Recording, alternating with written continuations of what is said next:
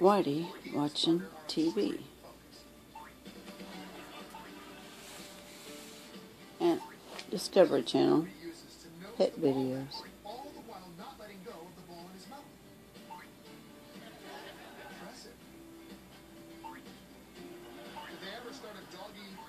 tennis ball toss league, these guys are sure to be champions.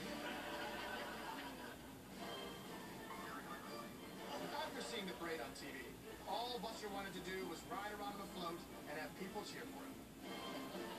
But since he was not famous, his owner did the next best thing for him a piggyback ride around the living room.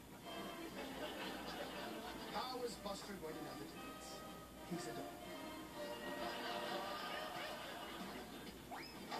Just because you can't swim doesn't mean you can't enjoy the pool. Just as long as your buddy knows the doggy paddle and you know how to hold on for dear life. Just be a pal and don't make any Look at the concentration in his ears. Looks weird. As you may have noticed by my climbing chisels this Moves. I love a good workout. Like the other day, I parked as close to the gym as I could, ran the four blocks, climbed up the three flights of stairs, struggled with the locker, changed into my workout clothes, and then I hit the shower. Woo! What a workout. Here's a chinchilla that also loves a good workout. He is watching that TV hard.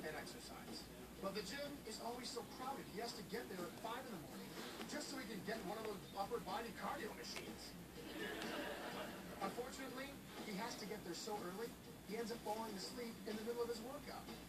Forget about rest. Charlie needs rest. He's all about that TV. You just know you shouldn't do. But unfortunately, other times you find out the hard way. Like going to a Rottweiler's costume party dressed as a when it's harmonica music. Trust me, dogs will take banjos, bagpipes, or fingernails on a blackboard over harmonica music. Anytime. Just ask the unfortunate folk singer who was here yesterday. Probably shouldn't do is bark at a wasp. Especially if you're allergic to pain. Then you'll find a hair in your. Okay, commercial is getting ready to come on. Okay, maybe not. Zagcat's Guide is Let's see what he does. French restaurant just for felines. Still watching the same program. It's the only eatery where the soup du jour always includes the catch of the day.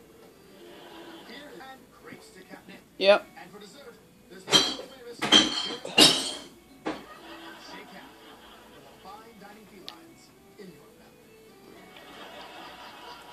Yes, Daddy just walked in the room.